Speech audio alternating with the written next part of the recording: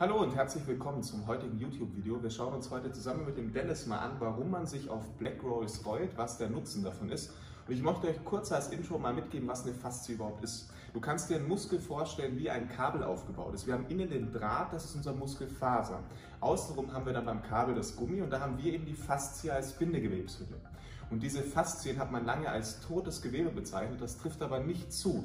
Diese Faszien können beispielsweise verkleben oder können sich verklemmen und genau dann entstehen Verspannungen oder entstehen Schmerzen in den verschiedensten Gelenken. Und genau dafür ist die Black Roll da. Indem wir über diese Muskeln und Faszien rollen, lösen wir diese Verklebungen auf und können Verspannungen und Schmerzen gegenwirken. Ja, und da Dennis wollen wir uns heute mal ein paar Übungen drauf anschauen. Dennis, da würde ich dich mal bitten, dass du dich bitte auf die Rolle setzt und zum Boden gehst. Ich wechsle mal die Seite nach drüben. Wir beginnen jetzt damit, indem wir den Rücken ausrollen. Wir haben hier die rückenstreckende Muskulatur, die vor allem im Lendenwirbelbereich gerne verklebt und verspannt. Du kannst dich mit den Händen links und rechts leicht stützen. So kannst du auch den Druck und dein Körpergewicht ein wenig kontrollieren. Und jetzt rollst du bitte mal langsam entlang dem Rücken von der Lendenwirbelsäule bis hoch zur Brustwirbelsäule, so weit wie du dich das traust, und übst mit deinem Körpergewicht so viel Druck aus wie möglich. Der Schmerz sollte dabei nie eine 10 werden, du solltest immer leicht drunter bleiben, aber es sollte schon Druck auf diese Faszien oder Muskelstränge ausgeübt werden. Perfekt, so weit wie möglich. Genau, jetzt sind wir langsam an der Brustwirbelsäule angekommen. Vorsicht, dass du nicht drüber hinauskommst. Und langsam kannst du wieder zurück Richtung Gesäß rollen. Wir sprechen jetzt hier beim Faszientraining von Triggerpunkten. Es ist möglich, dass du auf dem Weg Dennis vielleicht einzelne Punkte stärker spürst als die anderen. Wenn du hier einen Triggerpunkt wahrnimmst, dann kannst du auch gerne auf diesem Punkt bleiben und leicht auf und abrollen. So lösen wir genau diese Verklebung. Diese Rückenrolle oder wie wir sie auch nennen wollen, ist eigentlich die beliebteste und auch sinnvollste Übung, gerade nach einem langen Bürotag, einer langen Autofahrt, um die Rückenmuskulatur wieder zu lockern. Jetzt wollen wir uns noch den seitlichen Oberschenkel anschauen. Du darfst ähnlich in der Position bleiben, dich nur mal bitte mit dem Blick zur Kamera drehen und dich seitlich auf die Rolle positionieren.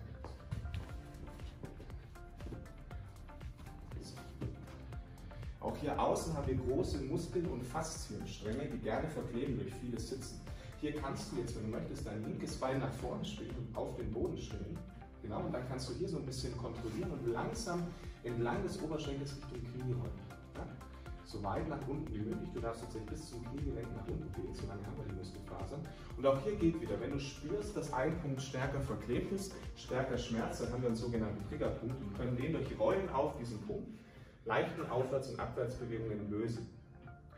Das Faszientraining ist deswegen auch spannend für dich, weil es wie auch hier überall durchführbar ist. Du musst dafür nicht extra in den Studio gehen, du kannst es auch zu Hause machen.